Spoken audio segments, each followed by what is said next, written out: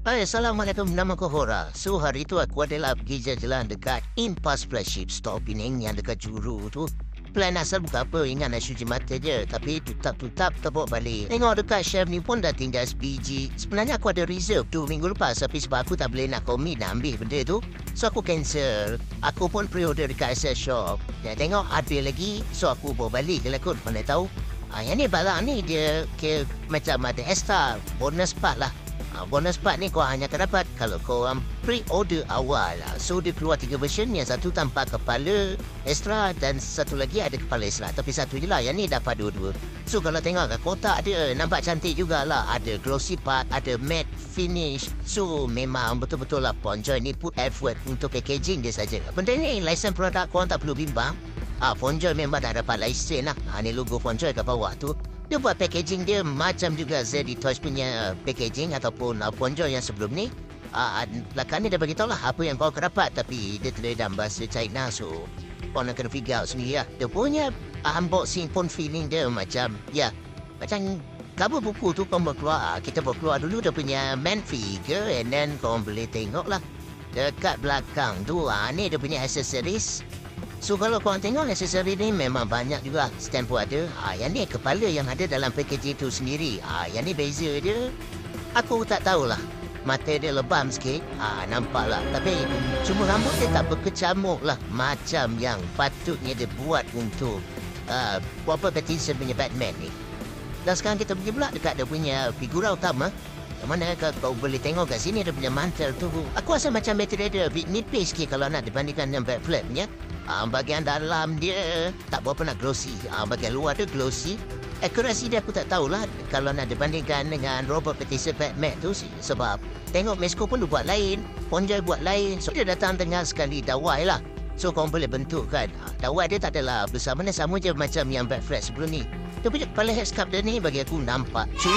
Memang top notch. Uh, untuk figura bawah 200 bagi aku menarik jugalah in terms of detail-detail lain agak menarik juga. Utility belt dia memang dia ada detailing-detailing ada gari tu and then kat belakang ni lah dia ada uh, tak silap aku ada flag apa tak kalau ikut Mesko punya ha, yang ni tak disebut and then dia punya holster untuk gun tu pun uh, menarik juga. So mana gun tu dia tak lekat guys. Tu macam ZD Toys yang sebelumnya aku ada ulas. Uh, dekat zirah tangan ni dia pakai soft rubber untuk duri tu so tak adalah kau risau akan patahkan atau mencederakan orang yang main figura ni nanti. Tengok hari tu adalah reviewer. Dia highlight benda ni. Uh, dekat dia punya cross ni. Uh, dia orang tak start pakai join baru yang mana dia orang guna material lain. Kalau nak compare dengan back flat tu dia directly. So dia ada yang ketat, ada yang loose. So yang ni dia pakai material yang sedikit clear. Aku tengok macam Iposi punya mold pun ada. Tapi itulah bagi aku in terms of dia punya quality macam kau boleh tengok ada certain part yellowish. Even aku tanya dekat Impas pun memang ada yang dia baru unpack pun sama juga cerita dia. Dan sekarang kita test lah dia punya wing kit punya dawai tu. Kau boleh tengok, ah dia memang boleh hold mungkin sebab material mantel yang digunakan tu dia nipis kalau nak dibandingkan yang back flat punya tu. Yang ni nampak dia boleh hold jugalah. So kau tak perlu pakai stand, pakai apa, memang nampak dia stay in position for Bagi aku memang selama-lamanya sampai kau betulkan balik dia punya dawai. Okey, sekarang kita test pula dia punya artikulasi. Kalau tengok kat kepala ni, kiri kanan memang sangkut lah. Kalau nak dibandingkan yang back flat punya tu, boleh lagi pusing.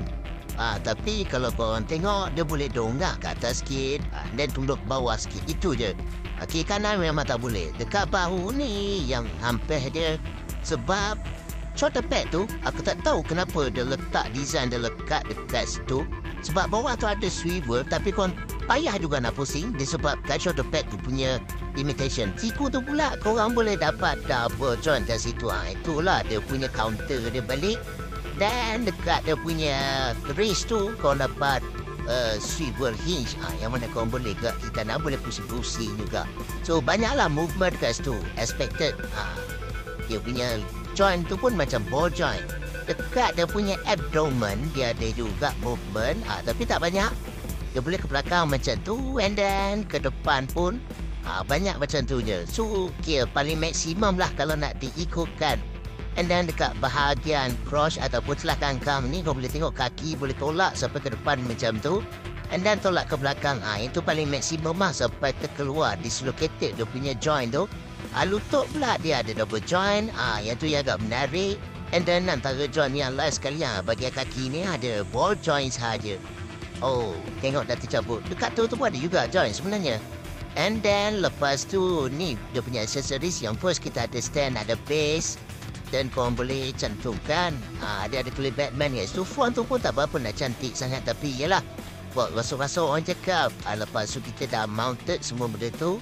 Ha, Macam biasa stand phone joy Dia ada beberapa joy yang mana korang boleh guna Ikut korang Dia datang dengan klik kat ujung tu Untuk pegang figure tu.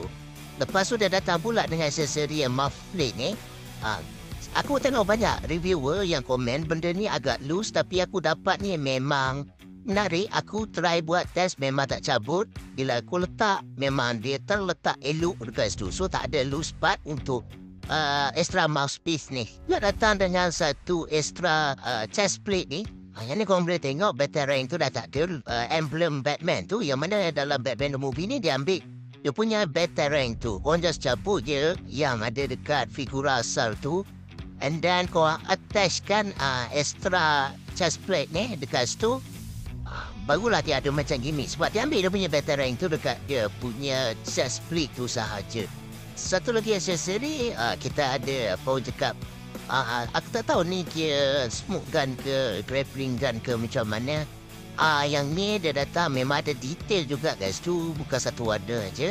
So kau boleh letak dekat uh, gun holster yang kaki sebelah kanan tu. Ini dia punya veteran tu yang bila kita cabut daripada dia punya chest plate tu ada keluar straight macam tu agak besar antara veteran Batman yang agak besar jugalah. Cuma problem dia aku tak jumpa extra hand yang sesuai untuk veteran tu. So yang ni dia punya grapple hook tu. Uh, kalau tengok yang ni sebelum dia collapse tu uh, so dia pendek sikit. Uh, boleh letak dekat bawah bahagian zirah tangan tu. Dia ada slot kau lekatkan je. Cuma aku perasan by right patutnya ada dua. Uh, yang dia pula bila lepas dia dah collapse tu uh, dia boleh letak kat bawah tu dia panjang sikit. So nampak dia akan melepasi lah wrist tu. So kalau tengok kat sini apa yang beza dengan Mexico dia ada missing uh, flare dengan bom. Uh, so yang ni dia datang dengan torchlight. Kalau nak tengok dia punya extra hands tu dia tak berapa nak grip sangat lah. Uh, torchlight ni dia a bit loose sebenarnya dekat dia punya tangan tu So since aku beli Batman ni sebenarnya aku nak test naik atas dia punya Berserker untuk movie 2022 ya. Yang ni McFarlane punya.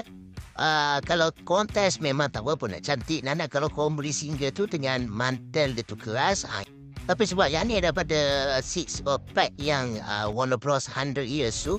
Uh, so mantel tu nampak boleh lah. Tapi dia still macam nak duduk atas tangki dan macam apa aku tengok. McFarlane tu. So dengan harapan aku beli phone joy ni dapatlah buat post dengan cycle ni. Tapi end up apa yang tak menariknya adalah yang mana bila aku letak lagi teruk jadinya. Sebab dia punya abdomen punya joint tu dia tak boleh nak tunduk rapat sangat uh, dengan posisi dia menunggang macam tu. Cuma mantel tu kau boleh buat macam kena tiup angin high. tu je kelebihan dia. Lain-lain tak ada sangat. Jadi aku buat comparison uh, ketinggian antara Fonjoy dan juga uh, McFarlane yang six-pack tu. So kalau tengok ketinggian dia, dua-dua sama je. One over six. So mana skala dia sama je lah.